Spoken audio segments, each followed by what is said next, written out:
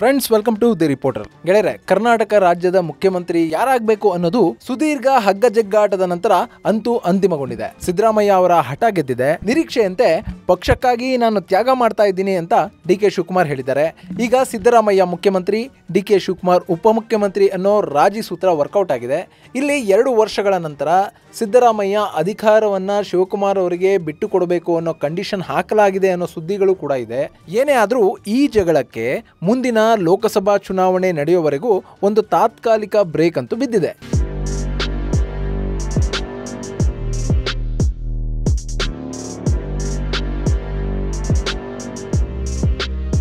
ಗೆಳೆಯರೆ, ರಾಜ್ಯ ವಿಧಾನಸಭಾ ಚುನಾವಣೆಗಳ ಸಂದರ್ಭದಲ್ಲಿ ಸಿದ್ದರಾಮಯ್ಯ ಹಾಗೂ ಡಿ ಕೆ ಶಿವಕುಮಾರ್ ಇಬ್ಬರು ತಮ್ಮ ನಡುವೆ ಯಾವುದೇ ಭಿನ್ನಾಭಿಪ್ರಾಯ ಇಲ್ಲ ಅನ್ನೋದನ್ನ ತೋರಿಸಿಕೊಳ್ಳೋದಕ್ಕೆ ಸಾಕಷ್ಟು ಪ್ರಯತ್ನ ಪಟ್ಟರು ಜೋಡೆತ್ತುಗಳ ತರ ಕೆಲಸ ಮಾಡಿದ್ದೀವಿ ಅನ್ನೋದನ್ನ ತೋರಿಸ್ಕೊಂಡ್ರು. ಸಂಘಟಿತ ನಾಯಕತ್ವದಲ್ಲಿ ಪಕ್ಷವನ್ನ ಗೆಲ್ಲಿಸಿಕೊಂಡು ಬರ್ತಾ ಇದ್ದೀವಿ ಅನ್ನೋ ಅಭಿಪ್ರಾಯವನ್ನ ಮೂಡಿಸೋ ಪ್ರಯತ್ನಗಳು ನಡೆದವು.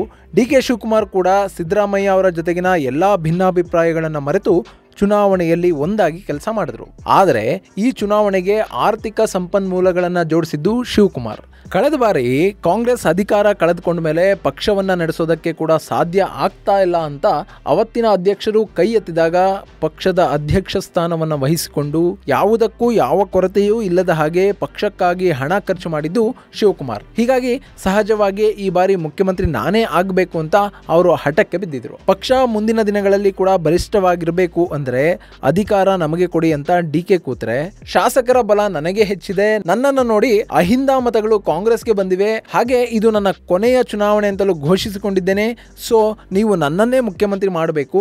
ನೀವು ನನ್ನನ್ನು ಕಡೆಗಣಿಸಿದ್ರೆ ಯಡಿಯೂರಪ್ಪ ಅವರನ್ನು ಕಡೆಗಣಿಸಿದ ಬಿಜೆಪಿಗೆ ಏನಾಯ್ತೋ, ಅದೇ ಗತಿ ಕಾಂಗ್ರೆಸ್ಗೆ ಕೂಡ ಆಗುತ್ತೆ ಅಂತ ಸಿದ್ದರಾಮಯ್ಯ ಪೇಡೋದಕ್ಕೆ ಶುರು ಮಾಡಿದರು. ಕಡೆಗೆ ಸಿದ್ದರಾಮಯ್ಯ ಅವರ ಬಗ್ಗೆ ರಾಹುಲ್ ಗಾಂಧಿ ಅವರಿಗಿದ್ದ ಅಪಾರ ಮಮತೆ ಮತ್ತು ಸಿದ್ದರಾಮಯ್ಯ ಅವರನ್ನು ಕಡೆಗಣಿಸಿದ್ರೆ ಈ ಹಿಂದಿನ ಮೈತ್ರಿ ಸರ್ಕಾರದಲ್ಲಿ ಆದ ಅನಾಹುತಗಳು ಮತ್ತೆ ಆಗಬಹುದು ಅನ್ನೋ ಖರ್ಗೆ ಅವರ ಆತಂಕ ಕಾಂಗ್ರೆಸ್ನಲ್ಲಿನ ವಯೋವೃದ್ಧ ಹಾಗೂ ಅನುಭವಿ ನಾಯಕರು ಸಿದ್ದರಾಮಯ್ಯ ಅವರನ್ನು ಒಪ್ಪಿದಷ್ಟು ಸುಲಭವಾಗಿ ಡಿ ಕೆ ನಾಯಕತ್ವವನ್ನು ಒಪ್ತಾರ ಅನ್ನೋ ಅನುಮಾನಗಳು ಇಲ್ಲಿ ತುಂಬಾನೇ ಚೆನ್ನಾಗಿ ವರ್ಕೌಟ್ ಆದ ಹಾಗಿವೆ. ಸೊ, ಅಂತಿಮವಾಗಿ ಸಿದ್ದರಾಮಯ್ಯ ಅವರನ್ನ ಮುಖ್ಯಮಂತ್ರಿಯಾಗಿ ಮಾಡೋದಕ್ಕೆ ಹೈಕಮಾಂಡ್ ನಿರ್ಧಾರ ತಗೊಂಡಿದೆ. ಅಂತಿಮ ಕ್ಷಣದಲ್ಲಿ ಸೋನಿಯಾ ಗಾಂಧಿ ಹಾಗೂ ಪ್ರಿಯಾಂಕಾ ಕೂಡ ಡಿ ಕೆ ಮನವೊಲಿಸೋದಕ್ಕೆ ಮುಂದಾದ ಪರಿಣಾಮ, ಸಿದ್ದರಾಮಯ್ಯ ಮುಖ್ಯಮಂತ್ರಿ, ಡಿ ಕೆ ಶಿವಕುಮಾರ್ ಉಪಮುಖ್ಯಮಂತ್ರಿ ಅನ್ನೋ ರಾಜಿ ಸೂತ್ರಕ್ಕೆ ಡಿ ಕೆ ಅಂತಿಮವಾಗಿ ಒಪ್ಪಿದ ಹಾಗೆ ಕಾಣ್ತಾ ಇದೆ. ಗೆಳೆಯರಿ, ಇಲ್ಲಿ ಮುಖ್ಯಮಂತ್ರಿ ಸಿದ್ದರಾಮಯ್ಯ ಹಾಗೂ ಉಪಮುಖ್ಯಮಂತ್ರಿಯಾಗಿ ಡಿ ಕೆ ಶಿವಕುಮಾರ್ ಇಬ್ಬರು ಕೂಡ ಶನಿವಾರ, ಅಂದ್ರೆ ಮೇ ಇಪ್ಪತ್ತನೇ ತಾರೀಕು ಪ್ರಮಾಣ ವಚನವನ್ನ ಸ್ವೀಕಾರ ಮಾಡ್ತಾರೆ.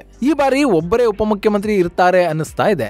ಜೊತೆಗೆ ಸಂಪೂರ್ಣ ಅಧಿಕಾರ ಮತ್ತು ಸ್ವತಂತ್ರದ ಜೊತೆಗೆ ಡಿ ಕೆಯನ್ನ ಉಪಮುಖ್ಯಮಂತ್ರಿ ಸ್ಥಾನಕ್ಕೆ ಕೂಡಿಸಲಾಗ್ತಾ ಇದೆ. ಹಾಗೆ ಡಿ ಕೆ ಶಿವಕುಮಾರ್ ಕೇಳಿದ ಎಲ್ಲಾ ಖಾತೆಗಳನ್ನ ಕೊಡ್ತಾ ಇದ್ದಾರೆ. ಡಿ ಕೆ ಶಿವಕುಮಾರ್ ಅವರ ಒಂದಷ್ಟು ಬೆಂಬಲಿಗರಿಗೆ ಕೂಡ ಸಚಿವ ಸಂಪುಟದಲ್ಲಿ ಆಯಕಟ್ಟಿನ ಖಾತೆಗಳು ಸಿಗುವಂತಹ ಸಾಧ್ಯತೆಗಳಿವೆ.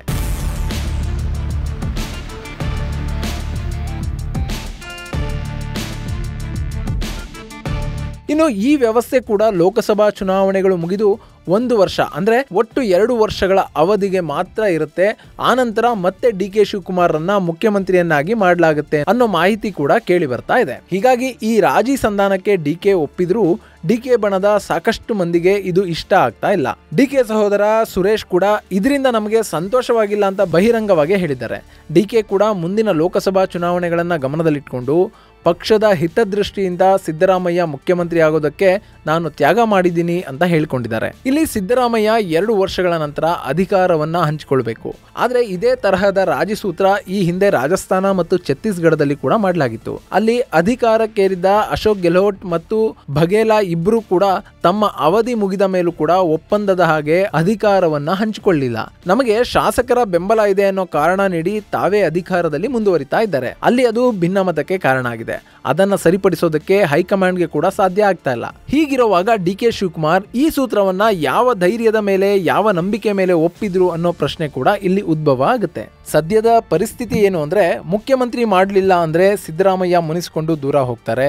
ಇನ್ನು ಡಿ ಕೆನ ಮುಖ್ಯಮಂತ್ರಿ ಮಾಡಿದ್ರು ಕೂಡ ಡಿ ಕೆ ವಿರುದ್ಧ ಇಡಿ ಪ್ರಕರಣ ಇದೆ. ಸಿಬಿಐ ತನಿಖೆ ನಡೀತಾ ಇದೆ. ಆ ಪ್ರಕರಣದ ತನಿಖೆಗೆ ನೀಡಲಾಗಿರುವ ತಡೆಯಾಜ್ಞೆ ರದ್ದಾದರೆ ಡಿ ಕೆ ಶಿವಕುಮಾರ್ರನ್ನ ಮತ್ತೆ ಬಂಧಿಸುವ ಸಾಧ್ಯತೆಗಳಿರುತ್ತವೆ. ಒಂದು ರಾಜ್ಯದ ಮುಖ್ಯಮಂತ್ರಿ ಭ್ರಷ್ಟಾಚಾರದ ಪ್ರಕರಣದಲ್ಲಿ ಮತ್ತೆ ಜೈಲಿಗೆ ಹೋಗೋದು ಪಕ್ಷದ ಹಿತದೃಷ್ಟಿಯಿಂದ ಒಳ್ಳೆಯದಲ್ಲ ಇನ್ನು ಮುಖ್ಯಮಂತ್ರಿಯನ್ನ ಮಾಡಲಿಲ್ಲ ಅಂತ ಸಿದ್ದರಾಮಯ್ಯ ಕೂಡ ಪಕ್ಷದಿಂದ ದೂರ ಆಗಿಬಿಟ್ರೆ ಕಾಂಗ್ರೆಸ್ ನಾಯಕತ್ವ ಇಲ್ಲದ ಸ್ಥಿತಿಯನ್ನ ತಲುಪು ಬಿಡುತ್ತೆ ಅನ್ನೋ ಸಣ್ಣ ಭಯ ಕೂಡ ಹೈಕಮಾಂಡ್ನ ಕಾಡಿದ ಹಾಗಿದೆ. ಹಾಗಾಗಿ ಸಿಬಿಐ ಹಾಗೂ ಇಡಿ ಪ್ರಕರಣಗಳನ್ನು ನೆನಪು ಮಾಡಿನೇ ಡಿ ಕೆ ಶಿವಕುಮಾರ್ರನ್ನ ರಾಜಿ ಸೂತ್ರಕ್ಕೆ ಒಪ್ಪಿಸಿದ ಹಾಗಿದೆ ಮುಂದಿನ ಲೋಕಸಭಾ ಚುನಾವಣೆಗಳಲ್ಲಿ ಕೇಂದ್ರದಲ್ಲಿ ಬಿಜೆಪಿಯೇತರ ಸರ್ಕಾರ ಏನಾದರೂ ಬಂದರೆ ಡಿ ಕೆ ಶಿವಕುಮಾರ್ ಮೇಲಿನ ಈ ಪ್ರಕರಣಗಳು ಡೈಲ್ಯೂಟ್ ಆಗಿ ಹೋಗುತ್ತವೆ ಆಗ ಬಂಧನ, ತನಿಖೆ ಇದ್ಯಾವುದರ ಭಯನೂ ಇರೋದಿಲ್ಲ.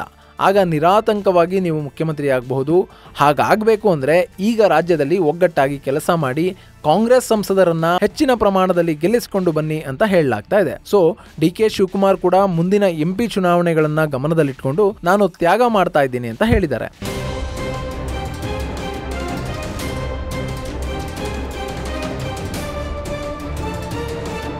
ಆಯಿತು. ಅಕಸ್ಮಾತ್ ಎಂ ಪಿ ಚುನಾವಣೆಯ ನಂತರ ಕೂಡ ಕೇಂದ್ರದಲ್ಲಿ ಕಾಂಗ್ರೆಸ್ ಮತ್ತು ಮಿತ್ರ ಪಕ್ಷಗಳಿಗೆ ಬಹುಮತ ಸಿಗಲಿಲ್ಲ. ಆಗಲೂ ಅಲ್ಲಿ ಬಿಜೆಪಿ ಅಥವಾ ಎನ್ ಡಿ ಎನೇ ಬಂತು ಅಂತ ಇಟ್ಕೊಳ್ಳಿ. ಆಗ ಏನಾಗುತ್ತೆ ಸಿದ್ದರಾಮಯ್ಯ ಐದು ವರ್ಷಗಳ ಆಡಳಿತವನ್ನು ಮುಂದುವರಿಸಬಹುದು.